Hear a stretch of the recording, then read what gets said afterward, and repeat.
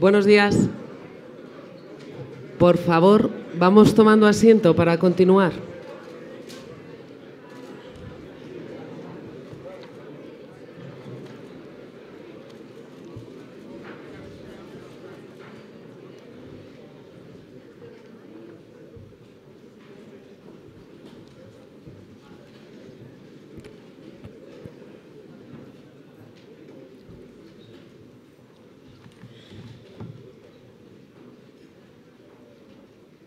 Bien, muchas gracias. Comenzamos.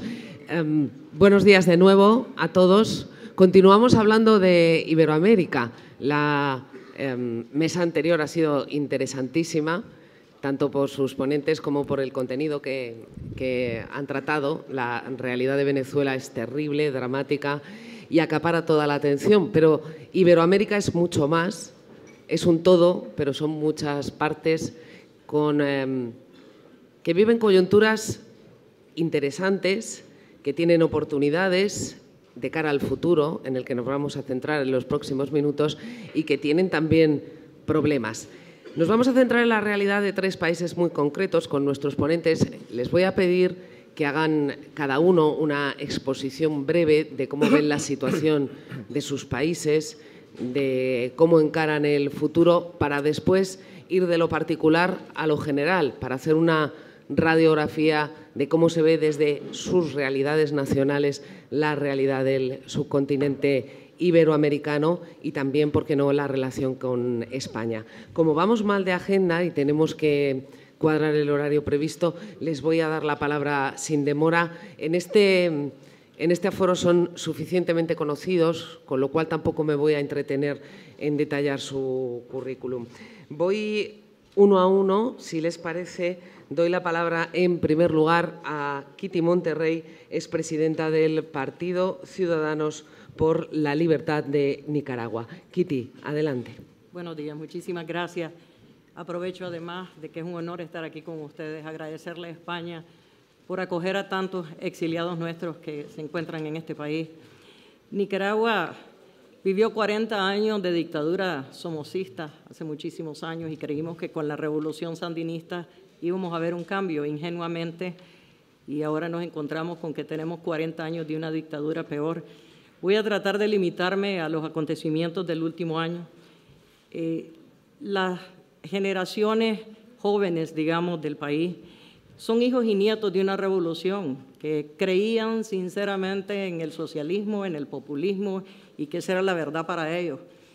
El 18 de abril del año pasado hubo un incendio en la, en la reserva forestal conocida como Indio Maíz y eso inició una protesta estudiantil seguida luego de una reforma al seguro social que afectaba prácticamente a todas las familias nicaragüenses.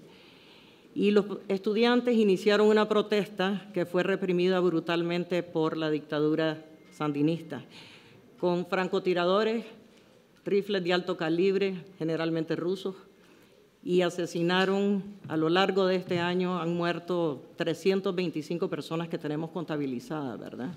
Más de 800 presos, más de 60 mil exiliados, que en una población de 6 millones de habitantes es enorme la cantidad.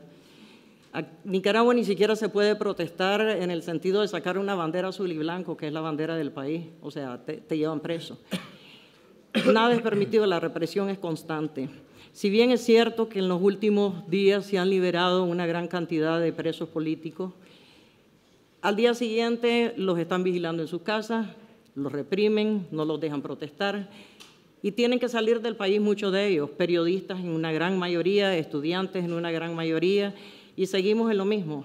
Nicaragua está bajo un control militar, como decían los panelistas anteriores, es una dictadura militar, no nos podemos engañar. Nicaragua tiene, Ortega tiene control total del ejército, total de la policía, paramilitares, perdón, civiles armados que reprimen a la población. Tuvimos una marcha el Día de las Madres, que es el 30 de mayo, que para Nicaragua un millón de habitantes en la capital es algo extraordinario. Ahí murieron más personas. Y las torturas que se han visto en las cárceles, o sea, ni en la Edad Media, pues, o sea, e, es algo que da, da vergüenza, da tristeza. violaciones a derechos humanos es, es pequeño decirlo de esa forma. Y tenemos más de 5.000 cubanos asesores y militares dentro del país. La cooperación del petróleo venezolano le ha ayudado a Daniel Ortega a mantenerse en el poder. Cuba, por supuesto, con todos sus asesores. Nicaragua es un país pequeño que hemos hecho un gran esfuerzo por mantener una propuesta dentro y fuera del país. La diáspora nos apoya. La, OEA ha tenido unas posiciones muy, muy fuertes eh, han enviado dos comisiones, el, el MECENI y el GA, así son conocidos, para investigar todas las violaciones de derechos humanos, fueron expulsados del país. Y sin embargo, seguimos adelante. Tenemos lo que se llama la Alianza Cívica por la Justicia y la Democracia, que es, una, es parte hoy en día de una mesa de diálogo. Estamos apenas en una primera etapa muy diferente a la de Venezuela, que tenía realmente una solución constitucional en cuanto al reconocimiento de Guaidó como presidente. Nicaragua no tiene esa salida constitucional para que pudiéramos exigir que Daniel Ortega renunciara o se fuera, la que asumiría en su lugar sería su esposa, que es la vicepresidenta, o sea que seguiríamos en lo mismo. Y difícilmente podemos alcanzar lo que queremos ahorita todos, que son las reformas electorales para ir a unas elecciones libres, transparentes, observadas, pero sobre todo adelantadas.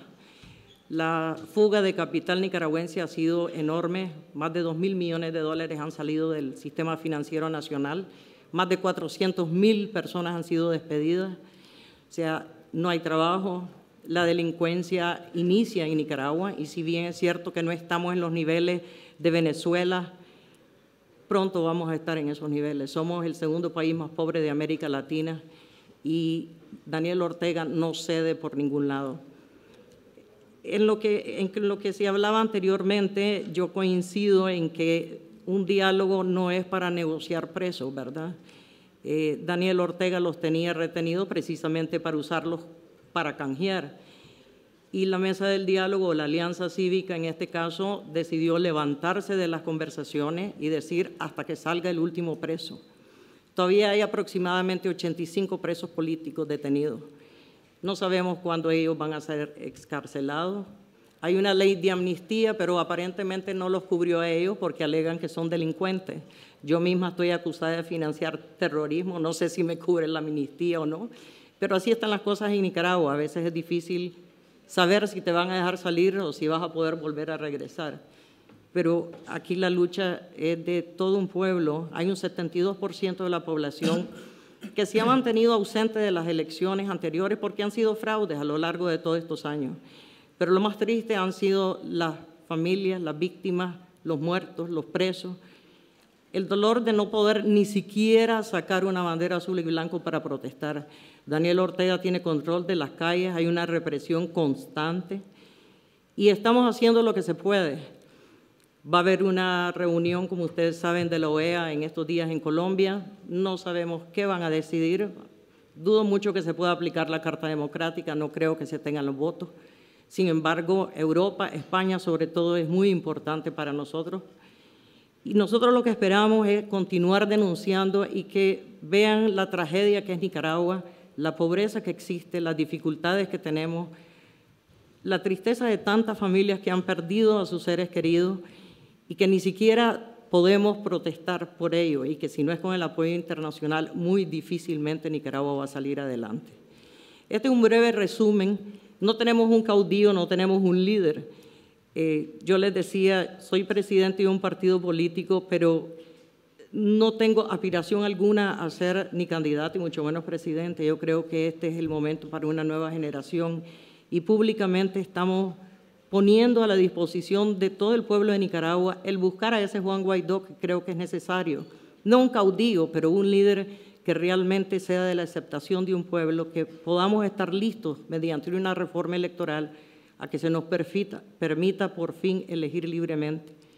Pero la situación de Nicaragua es grave, es tan grave o pronto va a ser tan grave como la de Venezuela y yo aprovecho este foro para agradecerle la ayuda que España nos ha dado en el pasado y que esperamos que nos continúen dando. Muchas gracias.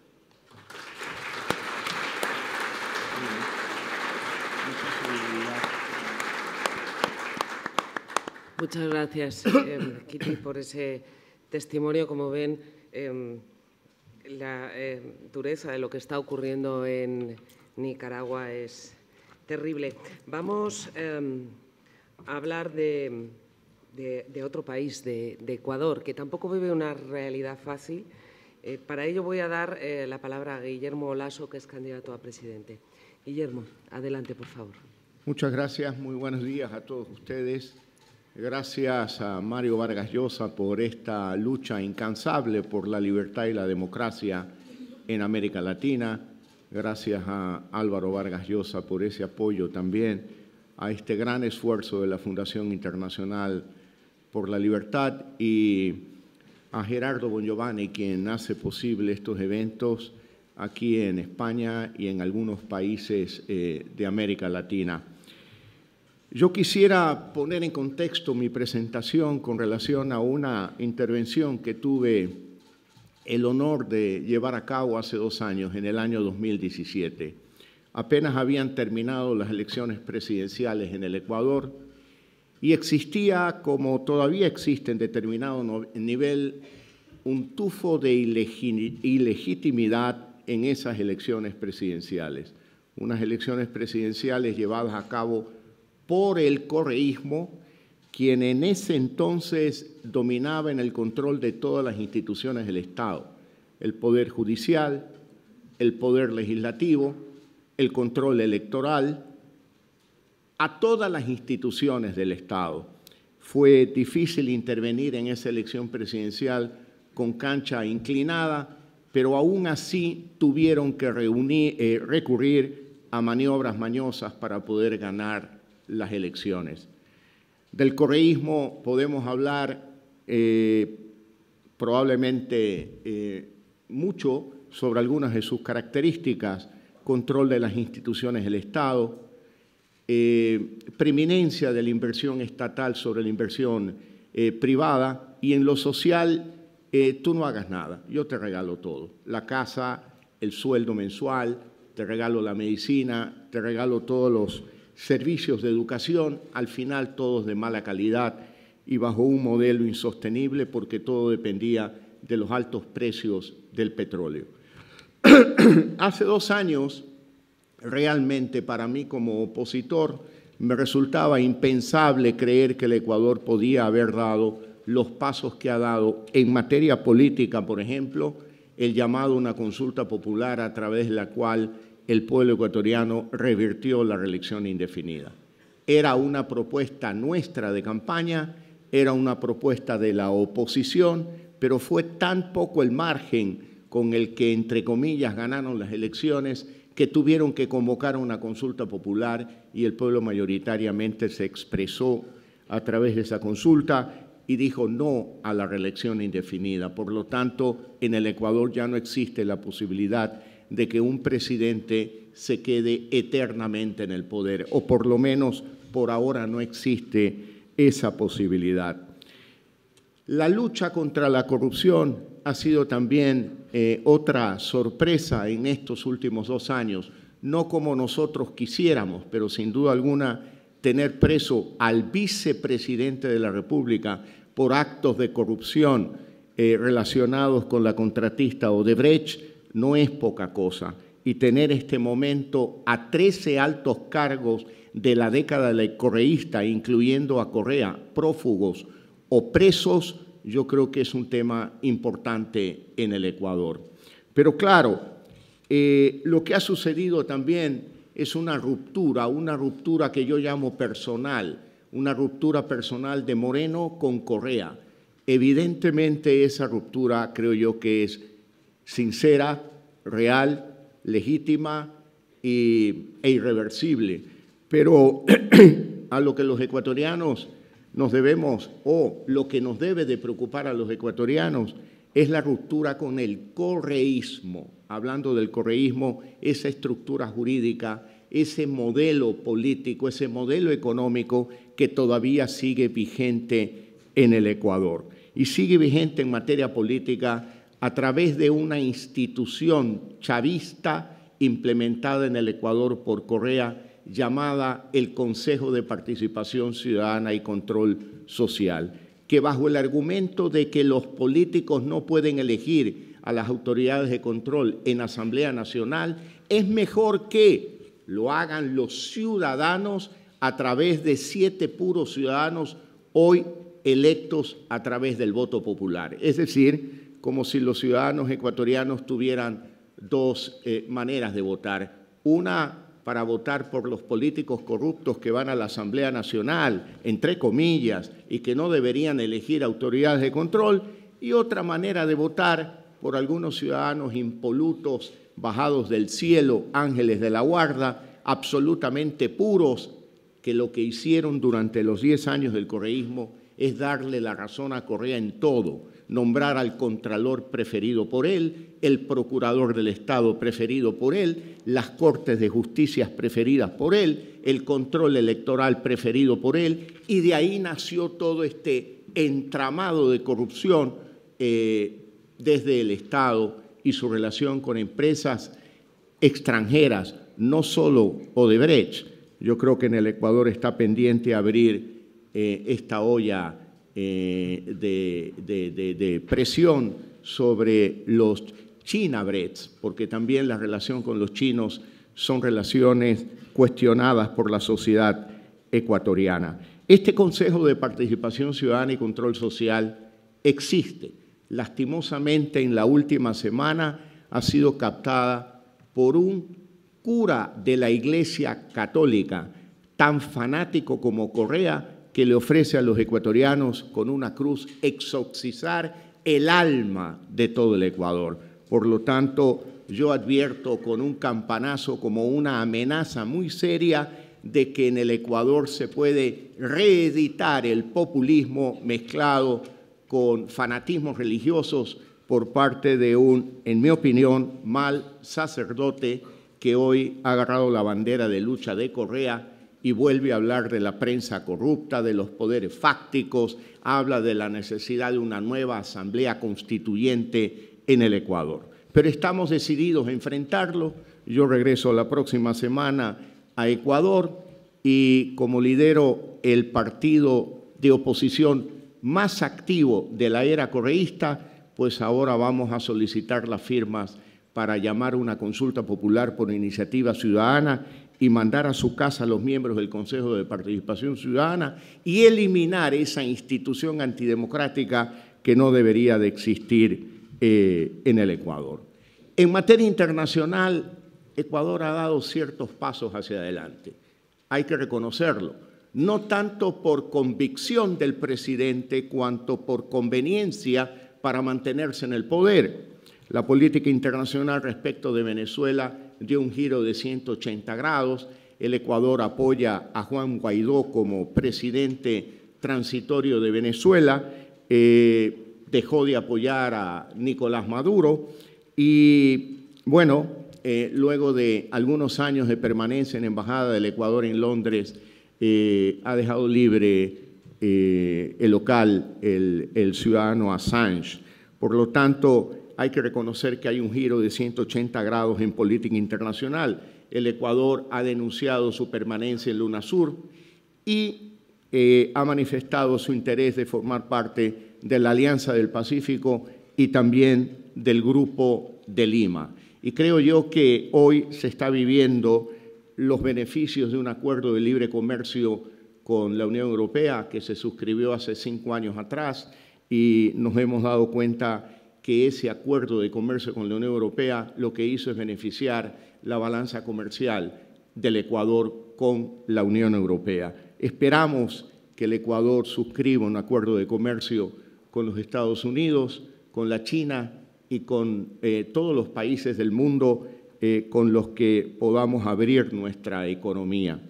La economía ecuatoriana es una economía que pasa por un momento muy, muy malo el crecimiento económico para el año 2019 se prevé eh, que sea negativo en 0,5%, a pesar de que tenemos un acuerdo con el Fondo Monetario Internacional, acuerdo que se apoya más en un acuerdo político más que en un acuerdo económico, pero en buena hora existe porque nos abre las puertas con organismos multilaterales como el Banco Mundial, con el BID, eh, especialmente con el Banco Mundial, estuvieron cerradas por razones ideológicas y personales de Corea durante los últimos 12 años, igualmente con el Fondo Monetario Internacional. Eh, bueno, la economía es una preocupación importante para todos los países de América Latina. En el caso de Ecuador, seis de cada diez ecuatorianos eh, que están en condiciones de trabajar viven en la informalidad, viven en el desempleo, en el subempleo. Sus condiciones de vida son precarias. A pesar de liderar un partido de oposición, hace un mes aceptamos llegar a un acuerdo con el partido de gobierno, el partido de Correa, que se partió en dos. Una parte se quedaron en el extremo con Correa y otra parte migró hacia la racionalidad, hacia el centro junto con Moreno. Nosotros hemos facilitado un acuerdo legislativo que garantice gobernabilidad en el Ecuador, que garantice la estabilidad democrática en el Ecuador, sobre la base de seis reformas legales fundamentales. La primera, una reforma legal en el campo laboral. El Ecuador es un país dolarizado, es un país caro, es un país donde resulta muy difícil crear un empleo porque es muy caro despedir a un empleado. Nosotros hemos aceptado llevar a cabo una reforma laboral desde nuestro punto de vista liberal, desde el punto de vista de Moreno, no sabemos cuál va a ser todavía, pero vamos a insistir en una reforma laboral que facilite la creación de empleo en Ecuador. Igualmente, eh, necesitamos una reforma económica para devolverle al Banco Central del Ecuador la independencia.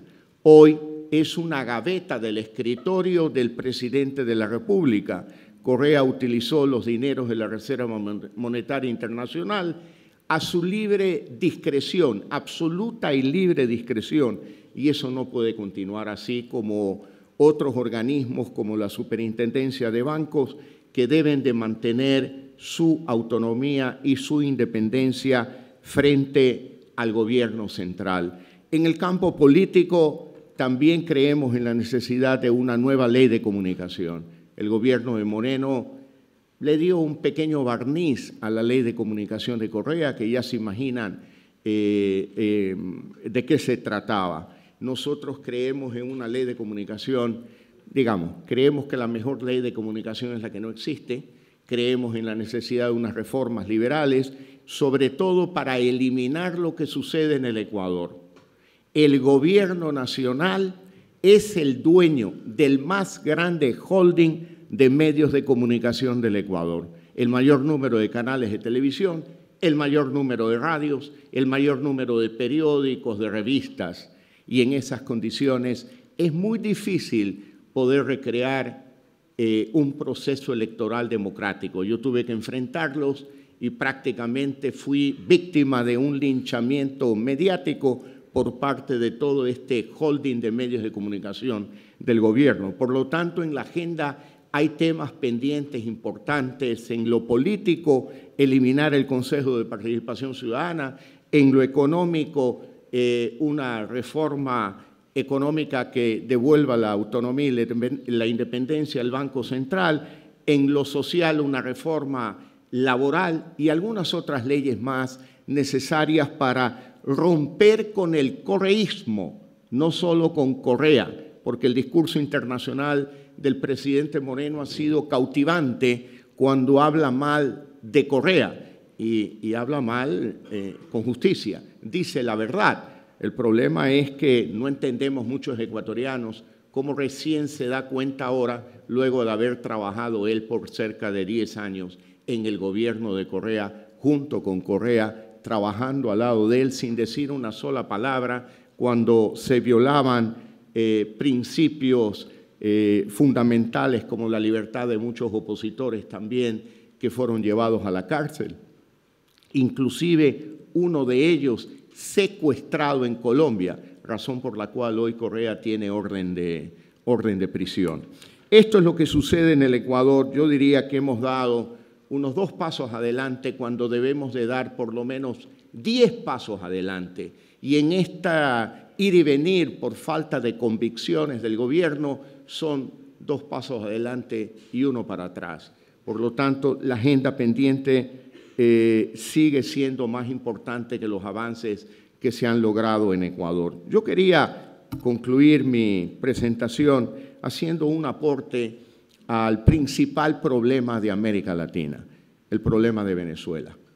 Hace aproximadamente 40 años atrás, Ecuador tuvo un presidente de la República llamado Jaime Roldós Aguilera, un hombre joven, inteligente, brillante, honesto, fue el primer presidente luego del retorno a la democracia después de una larga dictadura que tuvimos en Ecuador. Jaime Roldós Aguilera se preocupó de crear lo que se llama hoy la doctrina Roldós, la carta de conducta para asegurar la democracia, para asegurar el respeto a los derechos humanos y las libertades de todos los ciudadanos latinoamericanos. Jaime Roldós, por motivo del festejo del sesquicentenario de la primera constitución del Ecuador, suscribieron todos los países del grupo andino, Venezuela, Chile, Perú, Bolivia, Ecuador y Colombia de aquella época, la carta de conducta que en esencia dice, en materia de democracia y de derechos humanos no existen las fronteras ni la soberanía. No se puede argumentar soberanía cuando un Estado, como en el caso de Venezuela, está golpeando a su población a través de la violación de derechos humanos y a través de haber llevado a Venezuela a esta crisis humanitaria. La doctrina Roldós, desde mi punto de vista, tiene un valor no solo en el fondo, sino en la forma. Se trata de un presidente latinoamericano de izquierda. No se trata de un estudiante de la Universidad de Harvard o de un gringo que viene a hablarnos a Latinoamérica sobre lo que debería suceder en nuestro continente. Por lo tanto, creo que ahí la doctrina Roldós es un buen documento que justifica que los países signatarios de la Carta de Conducta de Roldós puedan actuar con mayor severidad, con mayor presiones económicas, con mayor decisión política en conjunto para presionar una solución en el caso de Venezuela. Me escuchó, me gustó escuchar al presidente eh, González cuando, cuando hablaba sobre la necesidad de darle más fuerza al grupo de Lima. Yo creo también que eso es necesario. Yo creo que América Latina tiene ya que adquirir una mayoría de edad, una madurez frente a su hermano mayor, los Estados Unidos. Asumir una firme posición, termino en no más de 10 segundos, asumir una firme posición y esperar que los Estados Unidos venga detrás de la posición unitaria de América Latina, apoyando esa gestión con gran presión contra el gobierno, contra la dictadura, dictadura de Maduro en Venezuela y, por qué no, también aplicable en el caso de Nicaragua. Muchas gracias a todos ustedes.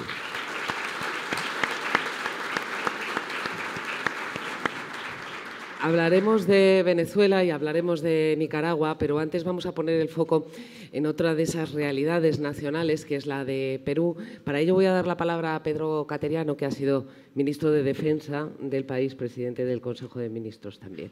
Eh, señor Cateriano, adelante. Muchas gracias.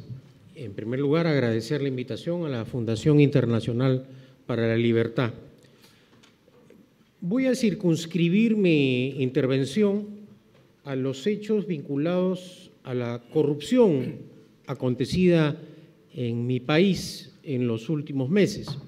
Aunque parezca increíble, el Perú hoy día no tiene problema de inflación, tiene la inflación más baja de América Latina. Tampoco tiene un problema de eh, crecimiento económico. En los últimos 20 años es el único país que sostenidamente ha venido creciendo económicamente.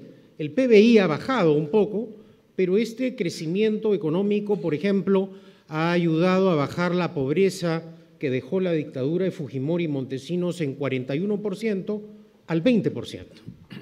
Entonces, esto, entre otras cosas, se debe a un cambio eh, a raíz de algo que no suele ocurrir en un Estado.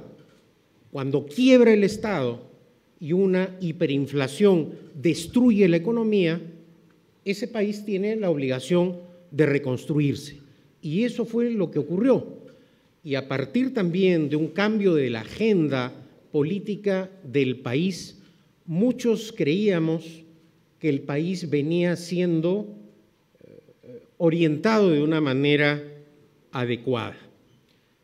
Después de la caída de la dictadura de Fujimori y Montesinos, que ha sido el gobierno más corrupto de la historia republicana, muchos creímos que los avances dados en la lucha contra la corrupción por fin encaminaban al país y que iba a ser muy difícil repetir los escándalos de corrupción.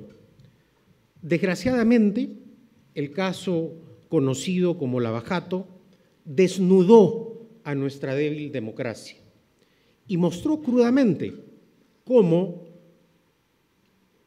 todos los expresidentes de la República elegidos democráticamente, de una manera u otra, estaban salpicados y manchados por la corrupción.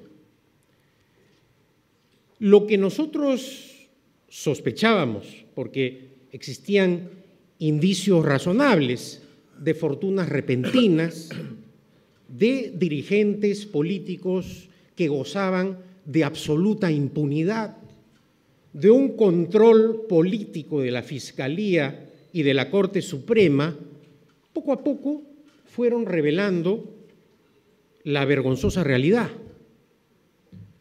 que los expresidentes de la República habían sido financiados ilícitamente en sus campañas presidenciales y además en dos gobiernos, en lo de los expresidentes Toledo y Alan García, probadamente se habían pagado sobornos que los vinculaban directamente. ¿Esto qué trajo como consecuencia en el país?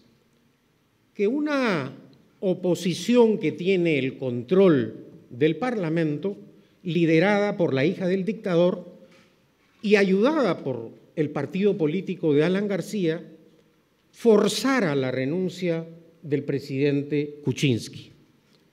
Kuczynski, ciertamente manchado por el caso Odebrecht, no tuvo otra escapatoria. Y la hija del dictador saludó esa renuncia y además cuestionó el indulto que Kuczynski le había dado a su padre, señalando que si bien es cierto, le alegraba el indulto, criticaba la forma en que había sido concedido, señalando muy claramente venta de votos a cambio de favores políticos, en donde no solo acusaba directamente a su hermano, sino que luego lo desaforó del Parlamento. Esto al final, ¿qué trajo como consecuencia? Que la Corte Interamericana de Derechos Humanos señalara que el indulto, que dicho sea de paso, Kuczynski en la campaña ofreció no indultar al dictador, fuese eh, cuestionado por la Corte Interamericana de Derechos Humanos y a la larga Fujimori justificadamente retornara a la prisión. ¿Cuál fue la actitud de los dirigentes eh, políticos al verse sindicados y manchados por los escándalos de corrupción, fundamentalmente por haber recibido sobornos y financiamiento ilegal en sus eh, gobiernos y campañas presidenciales. Desmentir, usar la mentira como argumento de defensa. La mentira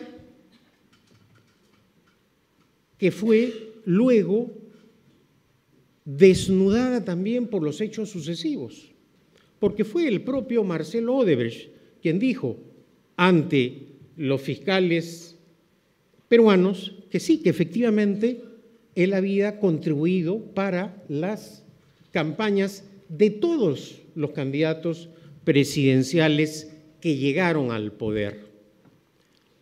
Esto que en un primer momento fue negado y que incluso la hija del dictador negó haber recibido contribuciones ilícitas, se probó no solamente mediante la acción fiscal y judicial, sino que fue corroborada por la colaboración eficaz de aquellas personas que decidieron prestar su eh, cooperación en materia judicial.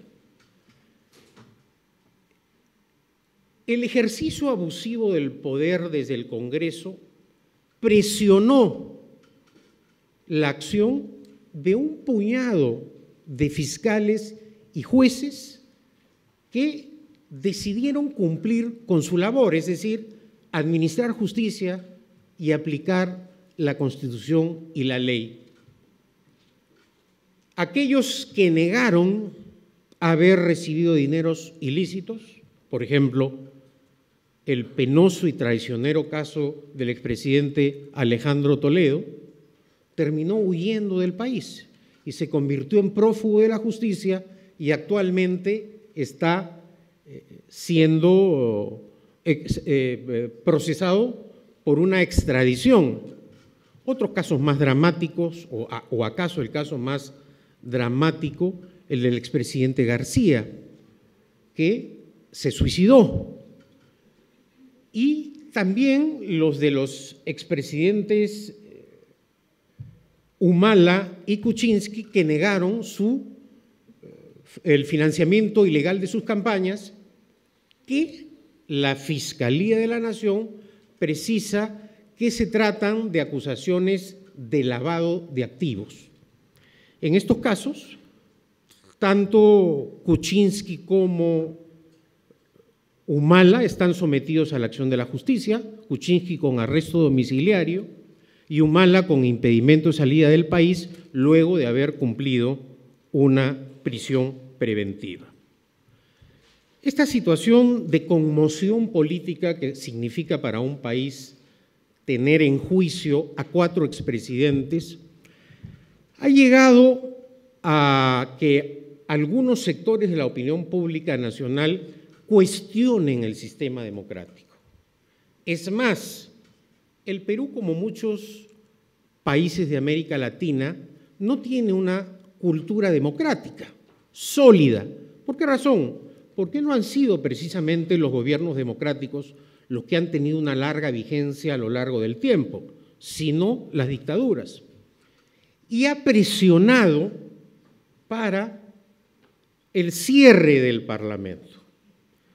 En este contexto de gravedad política, el sucesor de Pedro Pablo Kuczynski, el actual presidente Martín Vizcarra, lideró una lucha contra la corrupción, que fue apoyada también por un grupo de valientes periodistas, como Gustavo Gorriti, Romina Vela, eh, eh, Rosa María Palacios y Mávila Huertas, que ayudaron a que por vez primera se vea en el país que no hay distingos ante la ley y que aquellas personas que habían sido acusadas debían responder por sus actos.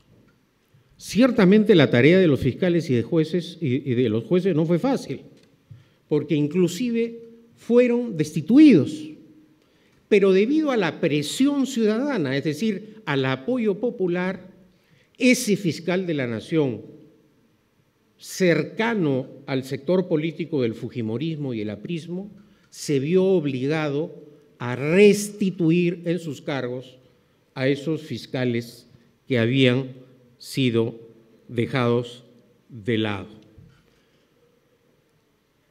Con todos sus defectos y limitaciones, la democracia peruana está pasando una difícil prueba, la de administrar justicia dentro del marco de la constitucionalidad y de la legalidad. Por esa razón, en más de una oportunidad he sostenido que en esta ocasión las investigaciones tienen que llegar hasta las últimas consecuencias. Porque para poder reformar a nuestra democracia, la justicia tiene que cumplir un papel. Y esta es una magnífica ocasión que tiene la democracia peruana, la débil democracia peruana, para rectificar. Y es en este contexto en el cual debemos reconocer que a pesar de las críticas a ciertos procedimientos llevados adelante, como por ejemplo la colaboración eficaz o el mecanismo de la detención preventiva, que pienso yo, por ejemplo, el plazo de la detención, de acuerdo a la legislación peruana, es excesivo, han sido instrumentos poderosos para que fiscales y jueces ayuden a la ciudadanía a comprender que si un funcionario público delinque, se le debe sancionar, porque no hay democracia sin justicia.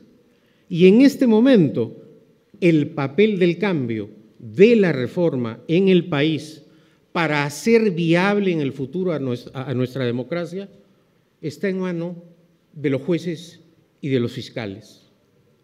La crisis política será superada si los peruanos, con el apoyo de la comunidad internacional, porque este es un tema que va más allá de la frontera nacional, y precisamente hemos podido lograr acercarnos, o estamos, mejor dicho, acercándonos a la verdad de los hechos, porque ha habido cooperación internacional, porque la justicia brasileña ha proporcionado información a la Fiscalía y al Poder Judicial del Perú, porque el gobierno del Uruguay le negó el asilo político al expresidente García cuando alegaba falsamente persecución política precisamente para evitar la acción de la justicia.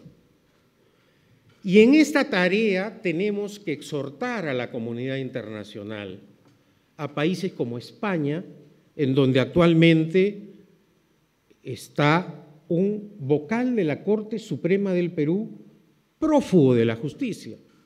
¿Cuál es la máxima señal de descomposición de un poder judicial. No puede haber otra que se fugue un vocal de la Corte Suprema. Ese es un escándalo en cualquier democracia y lo es para la democracia peruana, que un vocal de la Corte Suprema, que se supone es la persona que desde el punto de vista jurídico debe dar el ejemplo con su conducta, se fugue y no dé cuenta de sus actos ante la justicia, es algo para lo cual requerimos de la cooperación internacional. Y finalmente, en procesos de extradición como el del expresidente Toledo, que actualmente se halla en los Estados Unidos, y de otros funcionarios públicos de otras jerarquías que vienen siendo investigados. Como se ha señalado, la corrupción es un cáncer para las democracias el día de hoy y la tarea de enfrentarlas implica una solidaridad activa a nivel internacional. Por eso agradezco la oportunidad de este foro para haber podido compartir con ustedes esta experiencia, no excediéndome en el plazo concedido. Muchas gracias.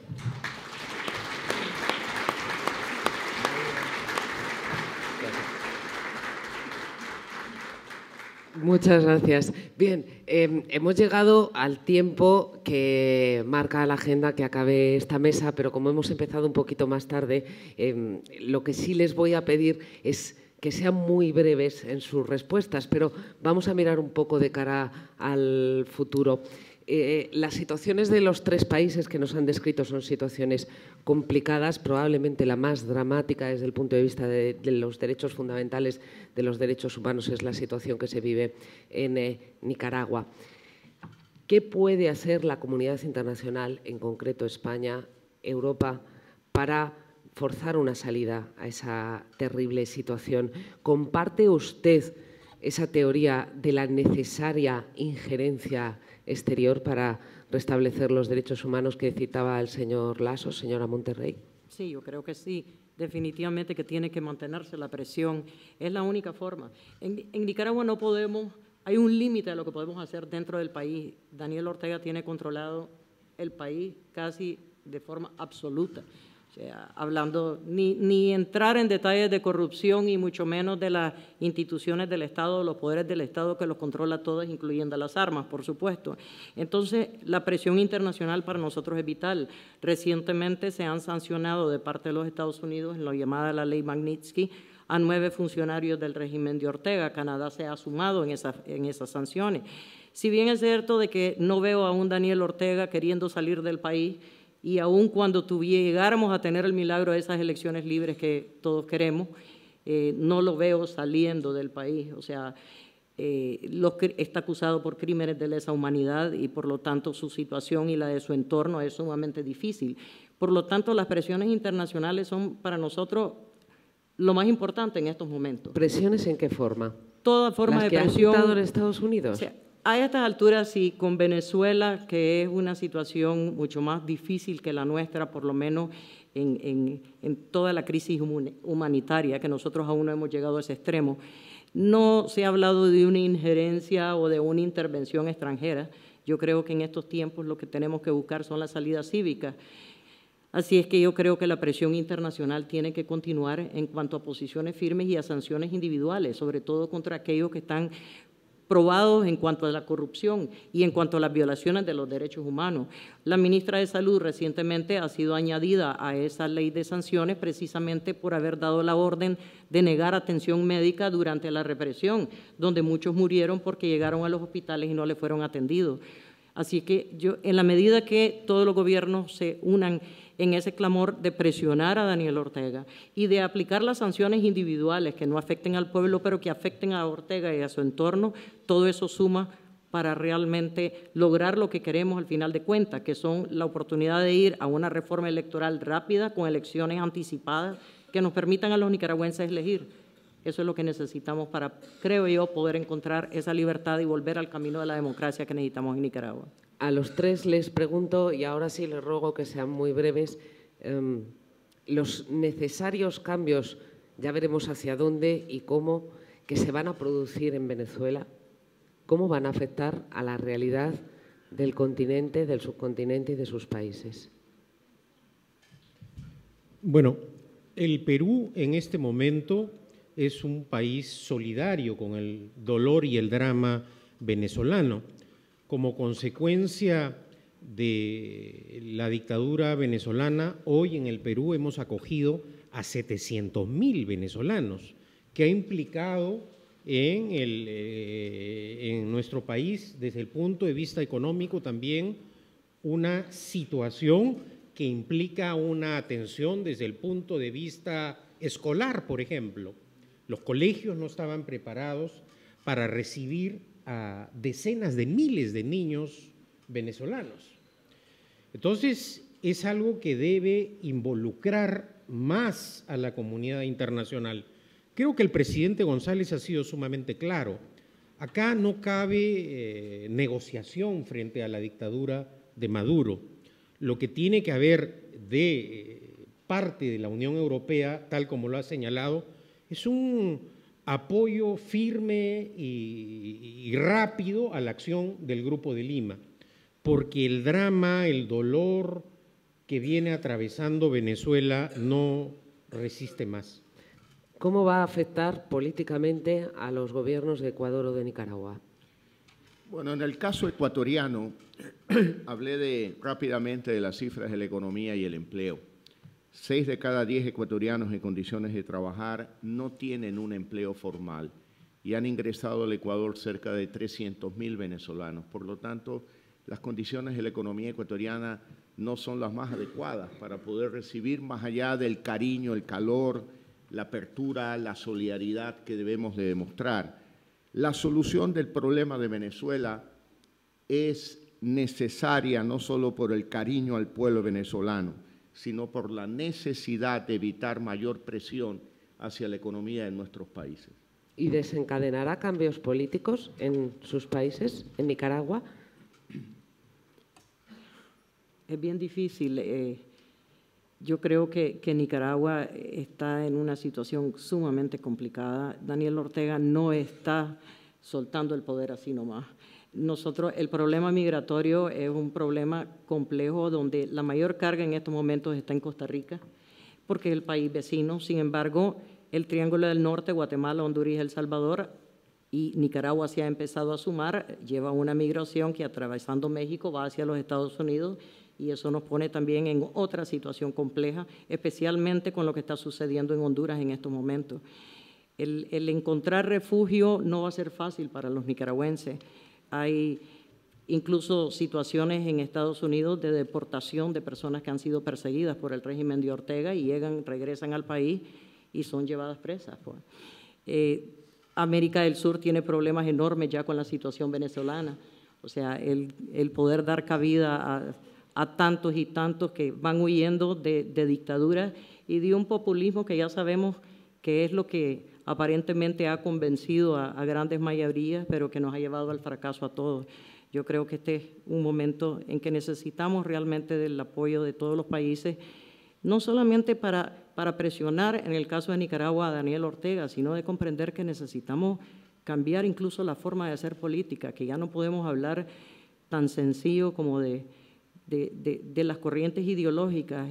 Nosotros somos liberales y por supuesto que en Nicaragua luchamos por un cambio, por algo diferente, pero por una forma de hacer política diferente que le devuelva a los nicaragüenses la oportunidad de poder trabajar y de tener salud y educación y de no tener que emigrar, porque realmente esas dictaduras son las que nos llevan a esta migración masiva. Pues muchas gracias a los tres por sus intervenciones. Discúlpenme si les he llevado un poco a la carrera, teníamos muy poco tiempo.